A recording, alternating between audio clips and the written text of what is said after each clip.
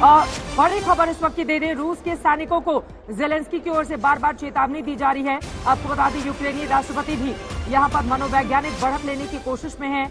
उनकी ओर से रूस के सैनिकों को बार बार चेतावनी दी जा रही है, चेताया जा रहा है। ये कहते हुए कि अगर जीना चाहते हो तो घर लौट जाओ। इस तरह की बातें कही जा रही हैं। और लेफ्टिनेंट जनरल सतीश दुआ जी सीधे आपके पास आते हुए, जीना चाहते हो तो घर लौट जाओ। इतनी बड़ी ताकतवर फोर्स है रूस की। जेलेंस्की का ये बयान क्या सिर्फ़ मनोवैज्ञानिक बढ़त हासिल करने की कोशिश है या वास्तव में आपको लग रहा है कि उनकी बातों में कुछ ताकत नज़र आ रही है?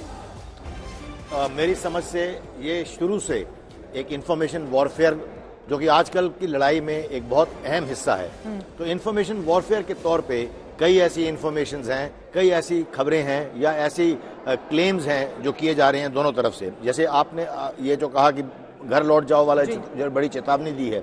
दूसरी तरफ़ उन्होंने बताया कि उन्होंने 30 से ज़्यादा एरोप्लेन्स 33 हेलीकॉप्टर्स और 9000 सैनिक रूस के हताहत किए हैं।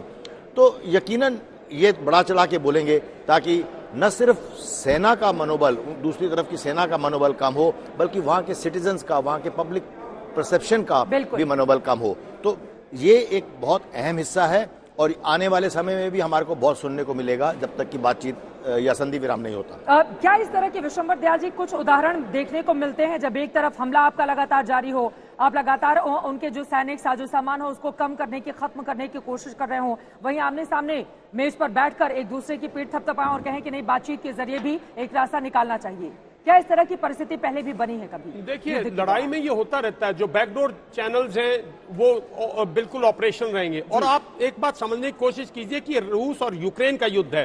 ये प्रेसिडेंट पुतिन पहले भी कह चुके थे हम यूक्रेन को नहीं तबाह कर सकते हम नहीं हम उन लोगों को मारना चाहते हम वहाँ नहीं कब्जा करना चाहते हम वहाँ सिर्फ़ सत्ता परिवर्तन करते हैं नाटो में ना जाइए और न्यू नाजी जो वहाँ पे एक्चुअली जिन्होंने तबाही मचाई है, उनको हम वहाँ से सरेंडर कराना चाहते हैं। जब उसकी बहुत ब्रॉड गाइडलाइंस बिल्कुल क्लियर है तो फिर मैं समझता हूँ बात का वो बार बार जो मौका दे रहे हैं, कहीं ना कहीं यूक्रेनियन पब्लिक पर भी प्रेशर डाल रहे हैं कि देखो, मैं तो बातचीत करने को तैयार हूँ।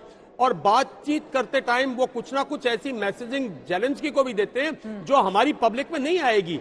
ऐसा नहीं है कि बिल्कुल फिक्स्ड लाइन है कि पुटिन भी बिल्कुल यही करके मानेगा। कोई ना कोई रास्ता निकालने की कोशिश की जाएगी कि कीव तबाह ना हो। जैसे खारकीव तबाह हुआ है अगर कीव तबाह हो गया और रशिया का कल रशिया ने कल सत्ता भी बदल दी तो वो जानते हैं कि कीव को यूक्रेन को बनाने में कितना इनको वक्त लगा था सेकेंड वर्ल्ड वॉर में जब ये बिल्कुल डिस्ट्रॉय हो गया था। और कितना वक्त और कितना पैसा अब लगेगा। और लोग कितने रंजिश में आ जाएँगे। वो लोगों में रंजिश नहीं फैलाना चाहते। समझने की कोशिश करो। तो वो बातचीत करके यूक्रेनियंस को ये मैसेज देना चाहते हैं कि लड़ाई होगी तो तबाही होगी तबाही बचाना चाहते हो तो आप मान जाइए हमारी शर्तें मान जाइए। और बार बार पॉज दे रहे ये ये स्ट्रेटेजिक पॉज है? ये स्ट्रेटेजिक पॉज है। हाँ। सिर्फ़ पर लड़ाई जारी रहेगी क्योंकि लड़ाई का मोमेंटम कैसे छोड़ सकते हैं? अगर मोमेंटम टूट गया उनका तो जैसे उनके ऊपर अभी छोड़ का रहे हैं? आप तस्वीरें देखिए। आपको लग अगर वो जैसे जेलेंस्की ने वो बोला। ज़िंदा रखना चाहते हैं। चारों तरफ़ से भयावह तस्वीरें सामने आ रही है। तो और लड़ाई अब तो उन लोगों की निगाह कीव पर है। चित्रा में सुबह से आपके बल लाकर खड़ा कर दिया जाए। चित्रा ये लड़ाई की हकीकत है। विनाश लड़ाई की हकीकत है।